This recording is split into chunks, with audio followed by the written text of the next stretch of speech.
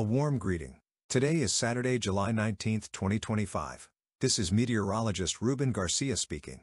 In today's video, I will be talking about the first tropical wave with development probabilities between the Caribbean and Africa for this hurricane season, which was highlighted last night with probabilities of cyclonic development as it moves west-northwest. Eventually, this tropical wave will reach sectors of the eastern Caribbean where it should bring an increase in precipitation. And in this video, I will talk about how the conditions for development are in this area and why the window for cyclonic development is about 72 hours. I will also talk about the rainfall totals it could bring across the eastern Caribbean by the end of next week. Let's zoom in on the infrared satellite image showing the tropical wave. This area is interacting with the intertropical convergence zone, which is currently helping maintain the development of some thunderstorms, although they remain disorganized. However, in the images from early this morning, we see an area of concentrated thunderstorms, and this is where a low pressure could develop with probabilities of cyclonic development as it moves west-northwest. At 2 a.m., the National Hurricane Center increased to 10% the probabilities of cyclonic development during the next 48 hours, and to 20% the probabilities of development during the next 7 days. But it is important to note that the area of possible development of a tropical depression is quite small which suggests that the actual window for development is approximately 72 hours. And you can see that it does not extend into the Caribbean, as eventually, by the middle and end of next week, conditions in this area will not be favorable for development or strengthening. And although it is still a bit early to see cyclonic development in this area so early in the season, if we look at data from the past 10 years, some tropical storms and hurricanes have developed precisely in this area. And this includes Hurricane Beryl, which managed to be a Category 5 hurricane last year. However, fortunately, the atmospheric conditions at this time are not favorable for this system to strengthen into something dangerous. This window for possible cyclonic development is largely due to a Kelvin wave that will be crossing through the Caribbean Sea and the Atlantic. And this Kelvin wave will leave some more favorable conditions for cyclonic development, and it remains to be seen if the tropical wave will take advantage of these conditions to perhaps develop into a tropical depression or a weak tropical storm. On the other hand, Sea surface temperatures in the main cyclonic development region have been warming up quite a bit in recent weeks, and currently the area has above normal sea surface temperatures. And although the Kelvin wave and the warm ocean temperatures can be a favorable factor for development, on the other hand, we have other elements that would not favor significant development. The first is that during the next week, the tropical Atlantic area will be influenced by dry air, which is illustrated in brown colors.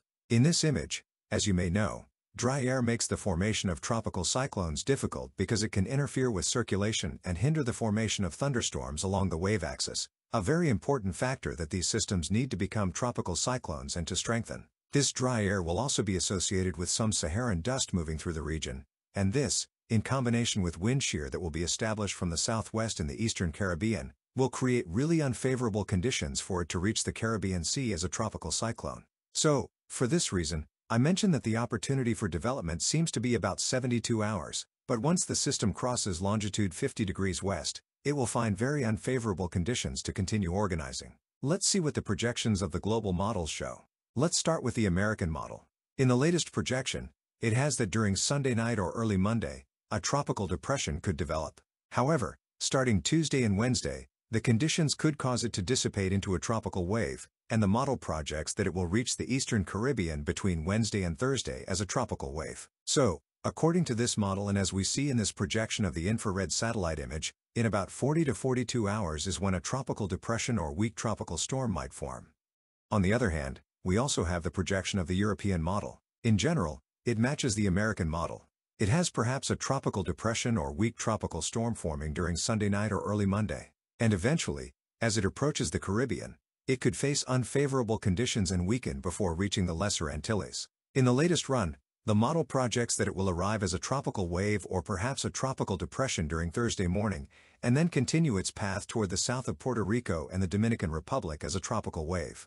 The German model in the latest run amplifies the tropical wave but eventually keeps it quite weak, without developing into a tropical depression or tropical storm, and reaching the Lesser Antilles during Wednesday night or early Thursday morning. Meanwhile, the UK model does not develop a tropical depression and also has a tropical wave moving over the eastern Caribbean Sea between Thursday and Friday. So it is clear why the probabilities for development remain low at the moment.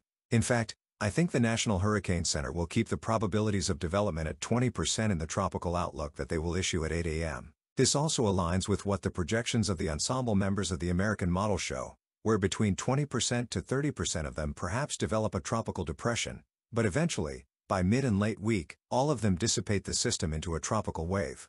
Meanwhile, the members of the European model, some of them also develop a tropical depression or perhaps a weak tropical storm as it approaches the Caribbean Sea. But between Thursday and Friday, the vast majority dissipate the possible cyclone before it reaches the arc of the Lesser Antilles. So, for now, what we project is that during the next 48 hours, the tropical wave could amplify and have a little cyclonic development.